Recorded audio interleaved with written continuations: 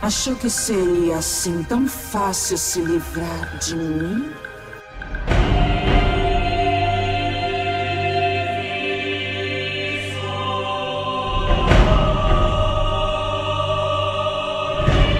E pessoas lindas e maravilhosas deste canal, sejam todos muito bem-vindos para um videozinho especial sobre Kona Exile, sabendo, sabemos que amanhã, dia 14, tem a atualização e nessa segunda-feira o Denis, que é o chefe dos desenvolvedores do jogo, deu uma é, fez um videozinho aí bem rapidinho respondendo algumas principais perguntas a respeito do jogo, a respeito do que podemos esperar para o próximo capítulo, tá? Como o vídeo é em inglês, eu trouxe aqui, traduzi todas as perguntas e respostas para vocês e eu trouxe aqui para gente já ir se preparando para a atualização de amanhã. Vocês estão prontos, gente? Aliás, eu tava com muita saudade das seis. Como é que vocês estão? Vocês estão bem, gente? Vocês estavam com saudade de mim também? Estou aqui toda arroxeada, tá? Me preparando para voltar. Graças a Deus já estou bem melhor. E amanhã eu volto, obviamente, com livezinha. Amanhã, assim que eu atualizar o jogo, eu vou abrir live de Conexiles pra gente se divertir, pra gente passar raiva com os bugs together, porque com certeza vão ter bugs, né, gente? Então, bora lá pras perguntas que fizeram. Eles, eles selecionaram 22 perguntas, tá? Principais aí, que é aquele perguntas frequentes que todo mundo mais pergunta, tá? Então eles fizeram aqui a seleção de 22 e o Denis respondeu todas nesse videozinho, que inclusive eu vou deixar o link aqui embaixo para quem quiser ver na íntegra, tá bom? É, primeira pergunta: o número de players atacando vai influenciar a quantidade de mobs defendendo o castelo? Não, o número será estático, como qualquer outra dungeon. Então, independente se você vai atacar sozinho ou levar 10 amigos junto, vai ser a mesma quantidade de NPCs defendendo o castelo, tá? Não vai interferir nisso. É, segunda pergunta: pelo trailer que vi, os NPCs parecem ser capazes de sentar nas cadeiras. Essa é uma nova colocação de lacaios, como a colocação de guarda nas portas, ou são apenas os NPCs que vêm à sua taverna? A gente sabe que nas portas agora aparece verdinho lá a localização para você já posicionar e nas cadeiras da taverna também vai posicionar, tá? A resposta é: qualquer NPC será hábil para sentar nas cadeiras da taverna. E no futuro trabalharemos para que qualquer NPC tenha a habilidade de sentar em qualquer cadeira ou banco que você tenha na sua base. Então essa capacidade dos NPCs ficarem lá sentadinhos, lá aproveitando, é somente na taverna por enquanto, tá? Terá alguma inovação no castelo estigiano para que ele se pareça um pouco mais com as construções estigianas já conhecidas em Cipta? Isso é uma pergunta muito frequente, aliás, é uma coisa que reclamaram bastante quando saiu o trailer lá, a livezinha deles que eles mostraram de fato o castelo, a construção é bem feinha, é aquela construção T3 do jogo base mesmo, né? E sendo que em Cipta tem construções estigianas assim belíssimas. Além disso, o loot poderia ter mais coisas relacionadas a Cipta. Seria uma melhor integração entre os dois mapas, ou isso não é uma possibilidade? E ele respondeu: escolhemos o set de construção com algumas coisas em mente. Uma delas é que tinha que ser um set de construção que faça parte do jogo base e que todos tenham para que qualquer um pudesse ter acesso a esse conjunto de construção. A outra é que tinha que ser uma construção de nível 3. Então, fora os portões, estávamos limitados às nossas escolhas. Mas mesmo com essas restrições, escolhemos aqueles que achamos mais rígido. E infelizmente, nesse caso, não era uma opção fazer um novo conjunto de construção, porque é uma tarefa extremamente cara para nós fazermos novas peças de construção. Dá para perceber isso no preço que eles cobram no bazar, né? E com o resto do produto que estava agendada para o lançamento. Simplesmente não estava nos planos. Se pudermos aumentar significativamente o desempenho no futuro com a base, poderemos voltar a adicionar algumas decorações e torná-las mais parecidas com a base estigiana, mas no momento nós manteremos um pouco mais espaço para que o desempenho seja maior. E no que diz respeito a Cipta, nós olhamos para ela como uma experiência separada das terras do exílio no momento. Então não queremos cruzar demais os itens dos dois mapas você deve ser, estar familiarizado para que tenha uma grande. que, que os dois mapas tenham uma grande diferença é, de poder, né? Entre os dois mapas, os, os NPCs, os mobs e tudo mais, né? Quarta pergunta. Como vocês. É, como você aprende a administrar a taverna? Como que você vai aprender a fazer a taverna, né? Porque você vai precisar aprender a fazer a bancada da taverna para você colocar na tua base. Pelo que eu entendi, a taverna vai funcionar tipo aquele NPC do tesouro, sabe? Que você coloca e ele tem um, um, um círculo assim em volta da, demarcando aonde vai ser a taverna, no local que você coloca, vai demarcar em volta aonde vai ser a taverna. Pelo que ele deu a entender, foi isso, tá? É, aprender a taverna, na verdade, é bem simples. Você pode aprender a receita no nível 20 gastando 3 pontos de conhecimento. Então já aprenderemos a taverna lá pelos pontos de conhecimento, pela aba de conhecimento. Mas para dar vida à taverna, você vai precisar da taverneira. E para consegui-la, você terá que chamar o Mecatombe. Temos planos no futuro. Tentaremos espalhar esse NPC para mais lugares do jogo, mas quando o capítulo 3 for lançado, amanhã, o único lugar onde você poderá resgatar a taverneira será chamando a Hecatombe. Outra pergunta. Teremos mais coisas legais e amatais no bazar neste capítulo ou em próximos? Pelo que eu entendi, as coisas da taverna são Yamatai. Eu não achei muito na vibe Yamatai, mas aparentemente são Yamatai, tá? Então ele respondeu aqui: sim, teremos coisa, algumas coisas Yamatais que vocês ainda não viram. Definitivamente alguns emblemas e acredito que alguns emotes também virão durante este capítulo. E como Yamatai é uma das principais facções que temos no mundo, vocês podem esperar definitivamente mais no futuro. E eu espero que a gente possa esperar mais do que emblemas e emotes, né?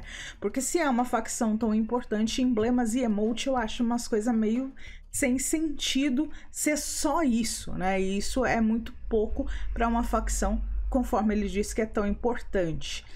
Uh, o ambiente da taverna terá música, assim como na taverna do Conan em Sepermeru. A taverna não terá música ambiente. Gente, fiquei completamente entristecida, devastada com essa informação mas também queremos adicionar um pouco mais de sons, acredito. E isso não será algo que você receberá assim quando for lançado o capítulo 3, mas teremos planos a longo prazo para que você adicione música sim. Quando falam em longo prazo é algo que a gente não precisa nem ficar esperando muito, né, gente? Porque longo prazo realmente são projetos aí que eles têm muito para o futuro, não são prioridades. E isso é muito ruim, porque é muito legal a gente criar e agora principalmente com essa opção da taverna na base, seria muito legal a gente poder colocar música ambiente também, mas não vai rolar, né? Podemos raidar o castelo repetidamente?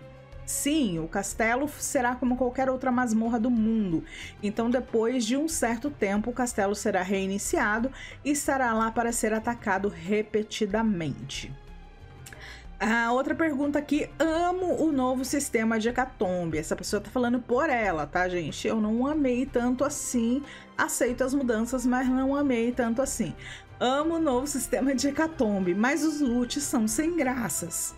Eles serão mais trabalhados no capítulo 3 para incluir coisas como lacaios de bancadas ou talvez coisas lendárias.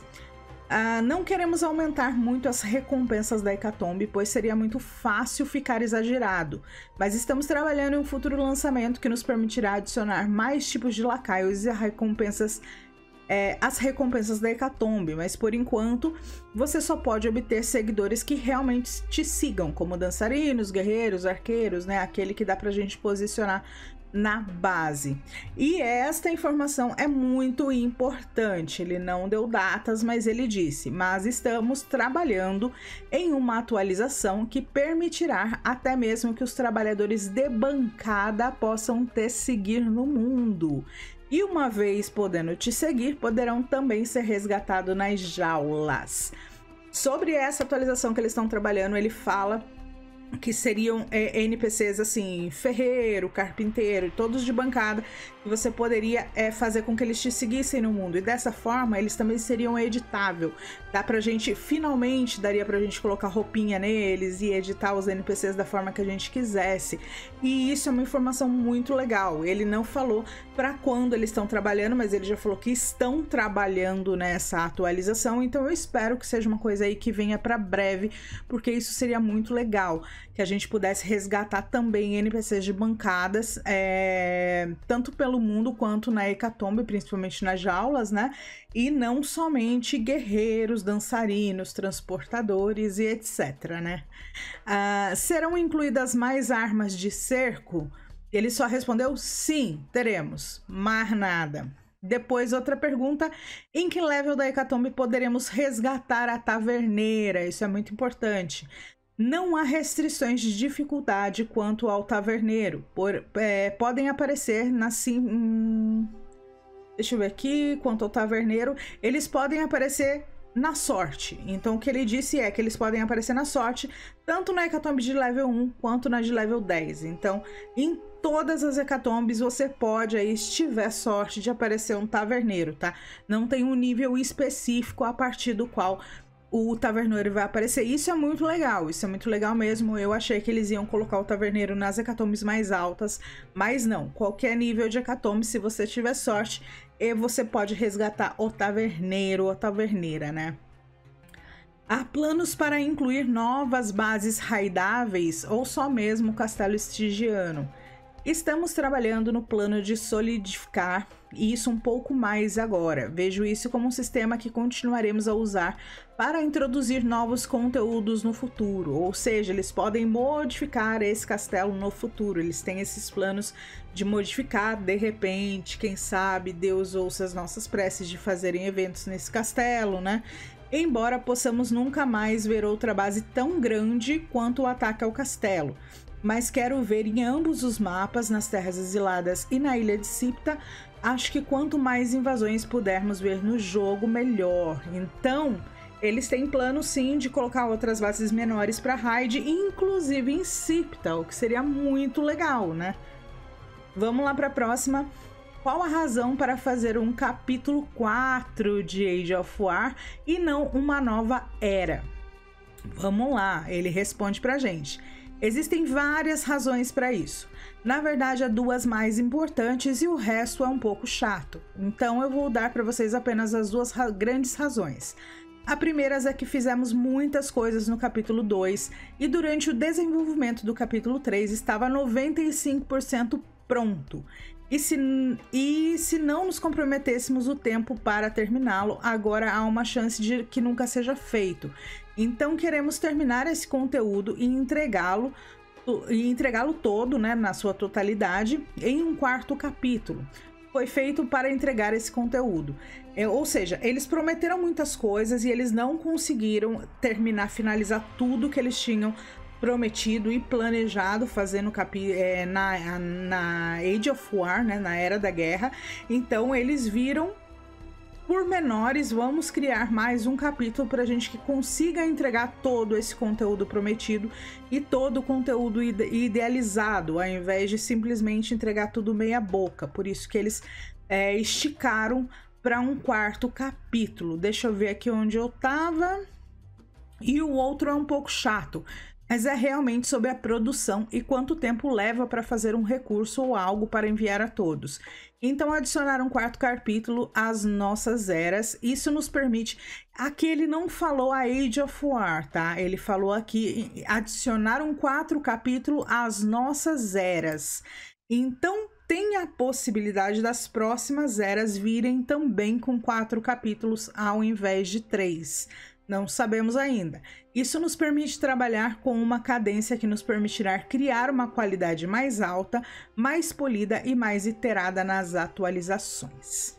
Por que não há novas atualizações para Cipta? Seria legal ter uma base apta para raid em Cipta também. Hum, primeiro quero deixar bem claro que a única coisa que Cipta não está recebendo é a base de ataque, e há uma boa razão para isso é porque era um sistema muito complexo de se implementar em apenas É, e apenas para dar, te dar contexto, ainda estamos iterando e aprimorando esse sistema agora. E essa, essa, esse vídeo foi soltado na segunda-feira, dia 11, e eles falou que eles ainda estão iterando e aprimorando esse sistema. Então podemos esperar bugs amanhã, gente.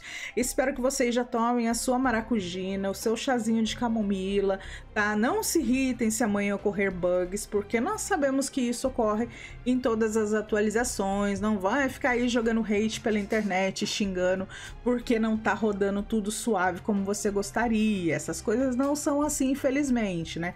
Mas eu espero que eles lancem amanhã já mais funcional, tá? Bem mais funcional de verdade. É, com o lançamento chegando, estamos fazendo tudo o que podemos para garantir um, que o ataque seja melhor possível. E com o tamanho da nossa equipe, isso simplesmente não funcionaria. Fazer nos dois mapas, tá? É a base de ataque nem sido viável para nós fazermos em ambos os mapas para garantir que estamos entregando uma experiência de qualidade em ambos os mapas. Então quero ser capaz de entregar esse conteúdo no mapa de Cipta, talvez na forma de um ataque não tão grande quanto a Fortaleza Estigiana no mapa do Exílio. Então sim, eles têm planos para fazer também uma base de ataque em Cipta, porém não agora, porque eles querem entregar um serviço bem feito, eles querem entregar uma coisa mais funcional, então seria inviável, talvez pela quantidade de equipe e tudo mais, e pelo prazo também que eles têm, para entregar nos dois mapas com a mesma funcionalidade e, e, bem bonitinho. Então ele prefere entregar agora no exílio e mais para frente, talvez uma basezinha menor em Cipta. Então vamos esperar para ver se de fato isso vai acontecer, né? Próxima pergunta. A Fortaleza Estígena permanecerá no PVE depois que o capítulo 3 de Age of War acabar? Ele disse sim, ela veio para ficar.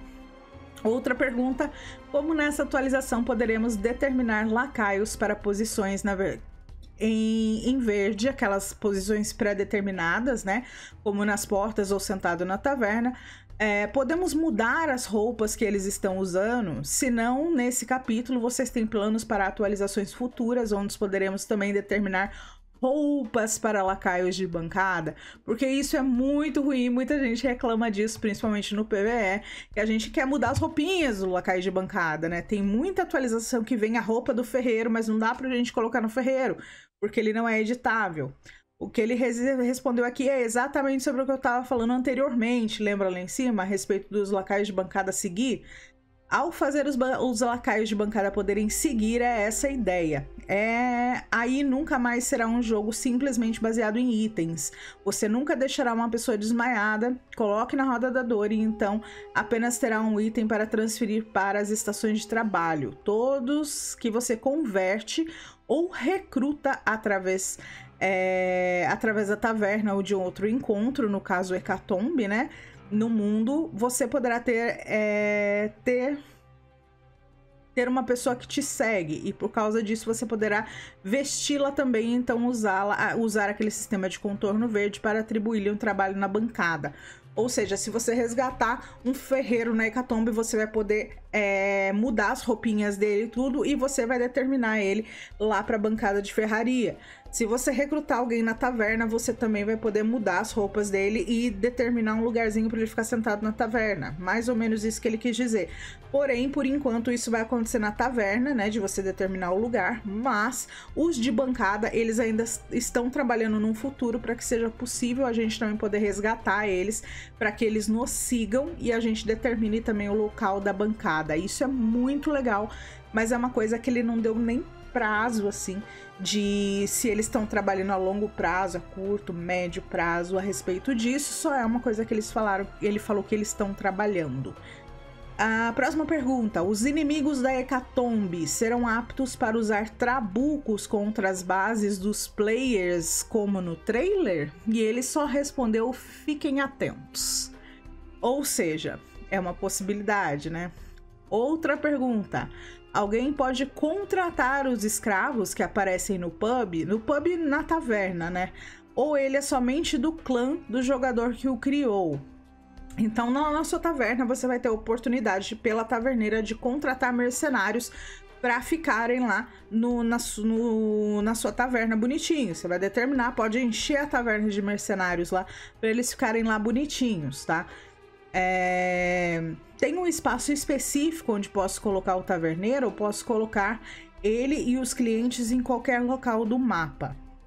Daí ele responde: A área construída da taverna é bem grande, mas nós simplesmente não mostramos porque é bem grande e pensamos que se você colocar o bar no chão e tiver assentos em um lugar que você chamaria de remotamente da taverna, eles iriam ser capazes de sentar lá. É, ou seja, é, é, mais isso que eu falei para vocês. Eu acredito que a taverna vai ser dessa forma na hora que você colocar o bar, vai determinar aquele círculo tipo o do tesoureiro lá em volta. E todo aquele espaço ali vai contar como taverna. Então, dentro daquele espaço, onde você colocar cadeira, vai poder sentar algum NPC, vir ali sentar e ficar bonitinho, que vai ser o espaço determinado da taverna. Pelo que ele falou, vai ser um espaço bem grande aí de construção. Acredito que possa ser tão grande quanto o do próprio tesoureiro, tá? E daí ele responde aqui: hum. no momento, qualquer um pode contratar qualquer cliente que, de qualquer taverna se tiver dinheiro para isso. Prestem muita atenção nisso, gente.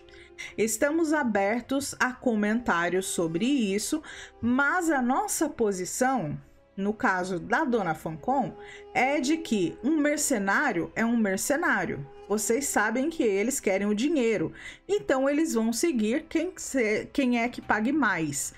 Ou seja, na sua taverna, se você deixar ela aberta para exposição, para todo mundo entrar na sua taverna, aquele mercenário que você contratou, que você pagou um dinheirinho para ele ficar sentadinho na sua taverna, pode chegar um outro player, oferecer um dinheirinho e levar ele embora, porque ele é um mercenário. Faz muito sentido essa linha de pensamento, mas agora eu acho que vocês vão começar a pensar caramba, não vou deixar minha taverna aberta, porque todo mundo vai levar meus mercenários e você não vai ganhar absolutamente nada com isso. O mercenário ele vai para quem der mais dinheiro. Então é basicamente assim que funcionarão os mercenários das tavernas, tá, gente? As tavernas são abertas para qualquer um que passa por lá ou exclusivas do clã. Atualmente você tem acesso total em qualquer coisa na taverna de outro jogador, exceto a lista de contatos do taverneiro. Então, outra pessoa que chegue na sua caverna, ela não vai poder comprar mercenários do taverneiro, mas ela vai poder comprar o seu mercenário que tá sentadinho lá se ela oferecer um dinheiro para ele, tá? Então, somente os membros do clã podem contratar alguém para vir ao bar, mas todo o resto, como o inventário deles e os clientes que já estão lá, está aberto a qualquer pessoa que você deixar entrar na sua taverna. Então, repensem duas vezes se você vai criar aquela taverna aberta, maravilhosa para todo mundo visitar e todo mundo chegar lá e levar seus mercenários embora, tá? Ou se você vai criar uma taverna fechadinha e só entra o teu clã. Próxima pergunta. O loot da Hecatombe ou de cerco serão expandidos? Alguma chance de drops diferentes e rotativos a cada capítulo? Temos alguns objetivos a longo prazo novamente para os exilados, e parte disso é manter o conteúdo que já temos é, como algo interessante. É uma ideia é, bem legal que complementa isso. Ou seja, não respondeu porcaria nenhuma.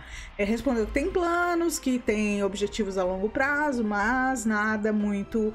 É, assim, certo, né? Nada muito explicado pra gente. Geralmente eles fazem isso com algumas perguntas, né?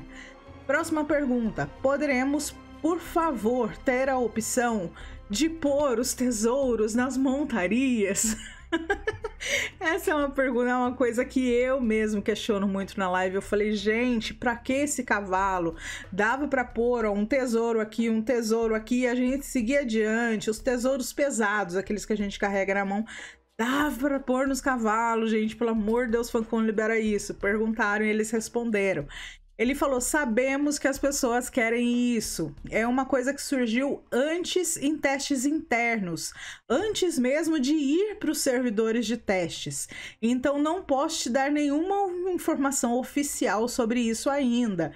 Mas sabemos que todos querem, ou seja, também não disse nada com nada, não falou se estão trabalhando nisso, só falou: ó, oh, a gente tá ligado que vocês querem, já pensamos nisso, mas eu não posso te dar nada oficial, então é isso aí. Foi absurdamente vago na resposta. Ah, as outras duas perguntas são as duas últimas perguntas são mais sobre os, mo os mods, né? Então perguntaram aqui se os diálogos e os inventários dos taverneiros é, serão modificáveis, se pode ser aplicado moldes, e ele falou que sim, tudo no taverneiro pode ser aplicado molde. E a última pergunta é sobre a nova construção de bases PVE de cerco.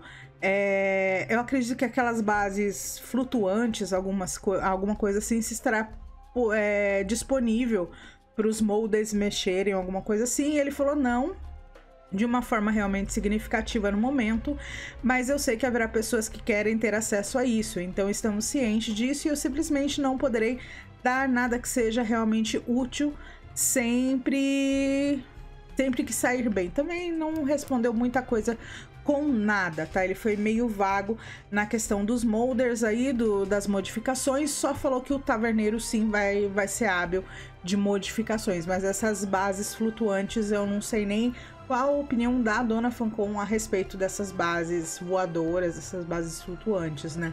Então acho que é mais ou menos isso, se eles poderiam colocar também as coisas de cerco lá, e ele foi bem vago também, como foi em algumas outras perguntas. Essas foram todas as perguntas que o David respondeu aí. Então, é David mesmo, gente, eu esqueço o nome dele, me desculpa. Mas foi todas as perguntas que ele respondeu. Ele é o chefe dos desenvolvedores da Fancom, ele tá à frente aí do desenvolvimento do jogo. Ele sempre participa de praticamente todas as lives, tá? E eu tô achando muito bacana essa proximidade que a dona Fancom tá tendo com a comunidade. É muito importante eles responderem esses questionamentos e é uma forma de mostrar que eles estão por dentro do que que, o pessoal tá pedindo mais no jogo, que eles estão por dentro do que, que, quais são as necessidades reais do jogo, né? Então isso é bem bacana. Eu confesso que eu não tô tão esperançosa para o lançamento amanhã, para atualização amanhã, mas testaremos juntos. Não sei a hora ainda, eles não determinaram o horário que vai sair a atualização. Geralmente sai ali por volta do meio-dia, alguma coisa assim, se eu não me engano, mas às vezes mais cedo. Mas eu vou ficar ligada assim que tiver a atualização disponível, já vou atualizar e amanhã eu vou entrar em live com vocês. Então não esquece da bruxa amanhã, faz favor, não esquece, não esquece da bruxa. Vem pra live amanhã, já deixa agendado aí um encontrinho comigo. Se você tá conhecendo esse canal através desse vídeo, já se inscreve, ativa o sininho, deixa o like no vídeo se você gostou do conteúdo, tá? Deu um trabalhinho aí para traduzir tudo, mas eu queria trazer o mais completo possível para vocês, para vocês saberem o que esperar amanhã nessa atualização e o que, que não vai rolar também, né? Porque tem muitas coisas que ainda não vão rolar nessa atualização. E eu espero que vocês tenham gostado do vídeo. Se gostou, como eu falei, deixa aquele like maroto pra bruxa, faz favor. Comenta bastante, compartilha, porque isso ajuda muito. E se puder e quiser, por gentileza, vire membro aqui do canal, se tornando um aprendiz de feiticeiro, que você me ajuda muito, muito, muito mesmo. E se você ficou até aqui, comenta para mim taverna, é a nossa palavra-chave de hoje, é taverna e amanhã a gente se vê na atualização, gente. Espero que vocês tenham gostado do vídeo. Um beijo da bruxa no coração de vocês. Estão morrendo de saudade e eu fui.